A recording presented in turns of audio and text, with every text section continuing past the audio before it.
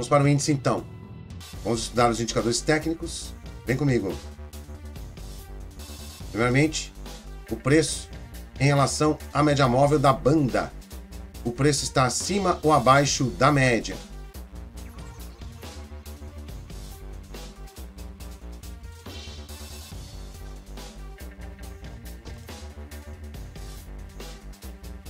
Exatamente, Siri. Obrigado, Tata. Preço acima da média móvel.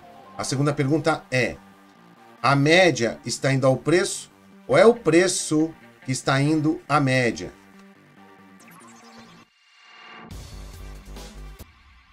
O preço está indo à média. Obrigado.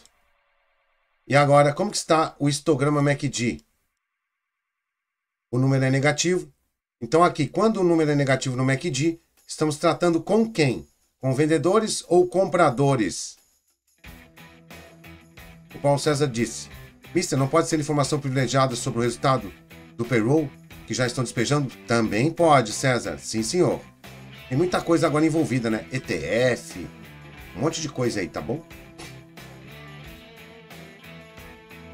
Começo do mês, pessoal literalmente dando uma resetada nos players, tá?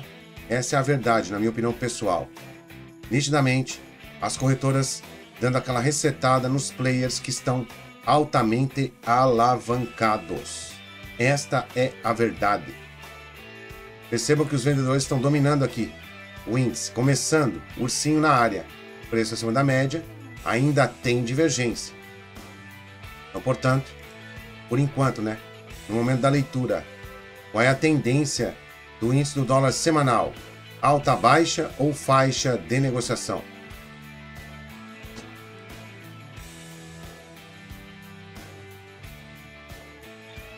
Faixa de negociação para o gráfico semanal do índice. Vamos para o gráfico diário. No gráfico diário, preço acima ou abaixo da média móvel. Diário.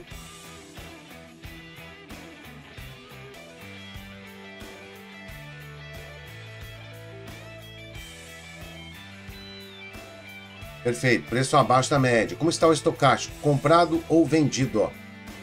Noite, grande rota. A MTGOX transferiu 47.229 bitcoins para uma, um endereço desconhecido há 10 minutos atrás. Notícia há pouco. Obrigado, Riota. Carlos Fernandes, Mister, você não opera mais B3? Não. João JD, como está? Tranquilo? Vendido. Preço abaixo da média. Estocástico vendido. Qual é a tendência do gráfico diário do índice? Alta ou baixa?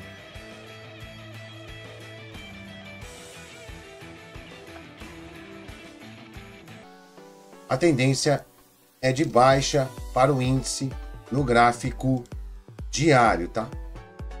Baixa no semanal, por enquanto, e baixa no diário já. Obrigado, Riota. É tudo orquestrado, sim. Rapaz, eles derrubando fica muito nítido, né? É tudo orquestrado, sim. Como eu ensinei a vocês, a questão das corretoras.